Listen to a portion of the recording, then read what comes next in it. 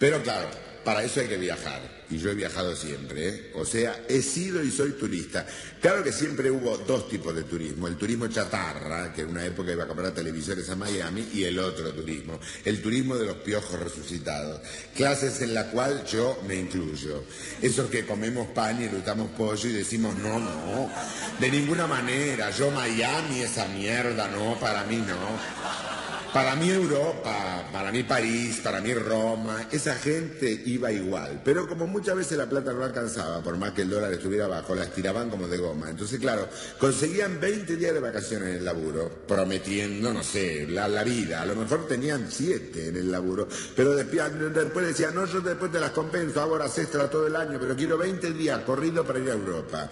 Entonces, claro, 20 días, las agencias de turismo, sin ningún escrúpulo, como sabían que ese negocio era de ese momento después nunca más, le decían, el tipo le decía, pero yo quiero conocer toda Europa. ¿A toda Europa y cuánto tiene? ¿20 días? ¿20 días? Joder, pues perfecto, 10 países. 20 días, 10 países. Y organizaban un tour japonés, lo volvían pelotudo, no se entendía un carajo. Llegaban, tenían contratada la agencia del tour y como tenían que hacer todo en 20 días lo volvían locos, los bajaban de los aviones como ganado. Cuando uno está, no está muy acostumbrado a un vuelo de 14 horas, es bravo. Necesitas un día por lo menos para volver a reacomodarte porque el avión te hace mal, no vas al baño, no cagas, se te amontona la comida los oídos tapados, llegas hecho un trapo, la diferencia de clima, necesitas descansar. ¿No qué descansar? Te bajaban, te enchufaban en el ómnibus del tour, te llevaban al hotel, ni tiempo de lavarte el culo que ya te sacaban rápido, que el día se acaba, no tenemos más nada que un día y medio. Acá está el Sena, subas a la lancha, del avión al ómnibus, del ómnibus una lancha, acá está el Sena, acá está el Notre Dame, acá está el Louvre. Todo como una especie de pesadilla, y venga para acá, venga para arriba, almorzar rápido, almuerza rápido que se nos va el tiempo.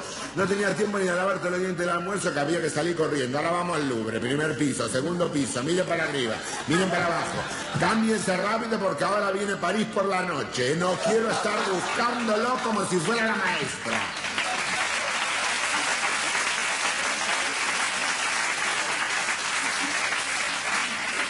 París por la noche, te llevaban un cabaret al Folie Berger, al Lido, todo en una sola noche, una copa de champán y la había gente, las putas, ¿dónde están las putas? No,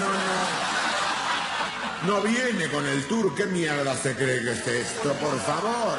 La gente terminaba loca, de lo único que se acordaban de los baños de los hoteles porque te la pasaba vomitando todo el viaje comiendo apurado, comiendo mal y encima pasando en una semana por cuatro países cambiar de manera de comer, distintas cocinas, lunes cocina alemana, el martes cocina suiza, el miércoles cocina francesa, el jueves cocina italiana, el viernes cocina española, llegaba la gente a la vuelta con gastritis, con una hepatitis infernal y un lío en la cabeza.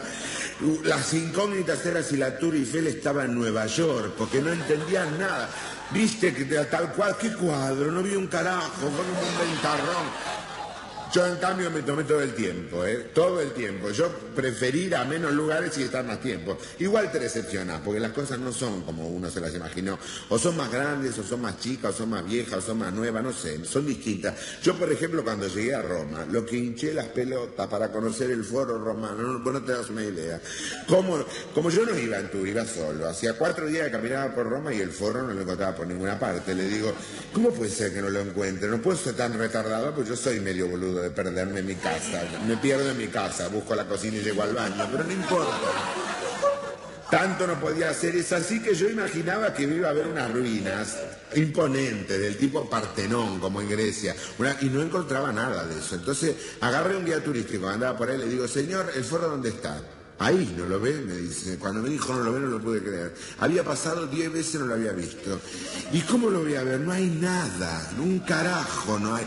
Es una demolición, son un montón de piedras amontonadas que pueden ser de la época del Imperio Romano como de la demolición de la esquina de tu casa de ayer o anteayer.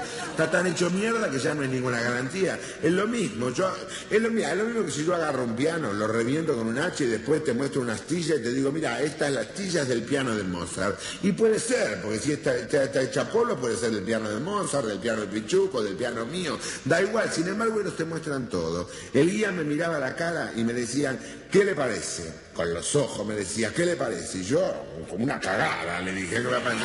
¿Cómo una cagada? Me dice, maestro, un pedazo de la cultura occidental, sí, un pedazo hecho mierda de la cultura occidental. Bruto, estúpido, cuadrado, animal, ma no se da cuenta que donde usted está apoyando su pie plano, de indio latinoamericano, sorete y subdesarrollado, ahí, en ese mismo pedazo de suelo, a lo mejor alguna vez caminó Julio César, ¿eh? A usted no lo estremece pensar que está caminando por el mismo lugar donde a lo mejor alguna vez caminó Julio César. Y a mí no, a mí lo que me estremecía era pensar lo vivo que son los tanos para explotar el turismo y lo boludos que somos los argentinos. Ellos cuando tienen, que tienen cosas muy importantes, no hace falta que yo lo diga, te las muestran. Pero cuando no las tienen más, porque el tiempo se las hizo pelota, te las inventan.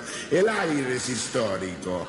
Acá caminó Julio César. Y con eso le tiene que bastar. ¿Ves los edificios mugrientos que la municipalidad se ahorra para no poderlos sacar? Y vos decís, ¿qué mugre, mano? ¿Es mugre? Cuesta la pátina del tempo. A la mierda. Y con eso le tiene que bastar nosotros.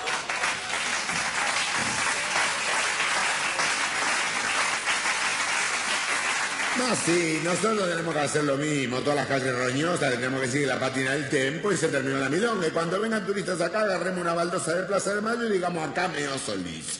Puede ser. ¿Por qué no? Claro.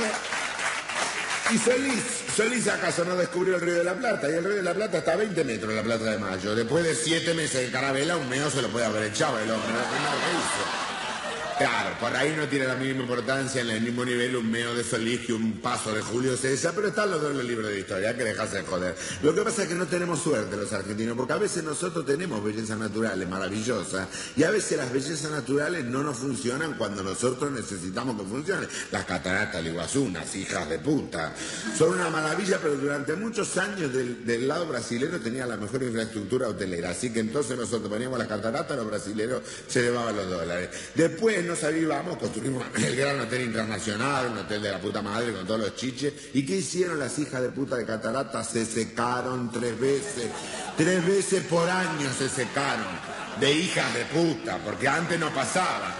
¿Vos te crees que igual a los italianos se iban a achicar ante ese problema? A los italianos le cobran el doble al tour si la catarata se seca. Le dicen, claro, mamá, con el agua la ve cualquiera, más senza l'acqua es un miracolo.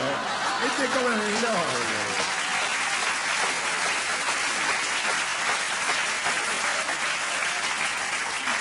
No les importa nada, todo lo tienen institucionalizado, son maravillosos. Cuando vas a la ciudad de Verona, en Italia, Verona no se llama Verona, se llama Romeo y Julieta directamente.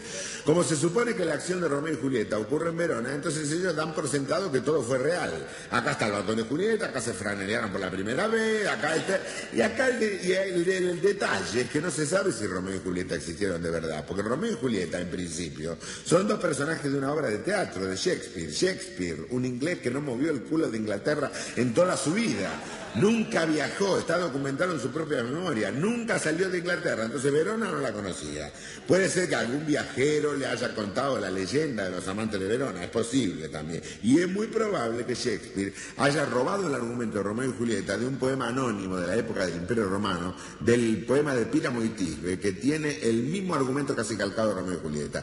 Casi todos los investigadores literarios están de acuerdo, o que es una leyenda o que se inspira en el poema de Píramo y Tisbe escrito antes de que Verona existiera o pensara existir. Lo demás fue todo un invento. Shakespeare lo puso en Verona y los veroneses lo agarraron. Y entonces, sin saber si existieron o no existieron, te lo muestran. Acá está el balcón de Julieta. Acá se franelearon por primera vez. Y a mí me dio una indignación ante tanta chantada que le digo al guía de turismo, señor, ¿y si Romeo y Julieta no existieron?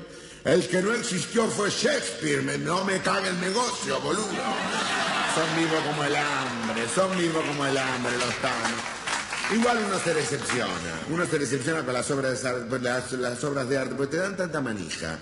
Te dan tanta manija los que la vieron antes que vos, que cuando la veas te vas a morir. Una cosa es verla en fotografía, otra en película, pero cuando la veas te vas a morir. Te va a pasar lo mismo que yo, se te va a secar la garganta, se te van a aflojar las piernas, vas a llorar, vas a llorar.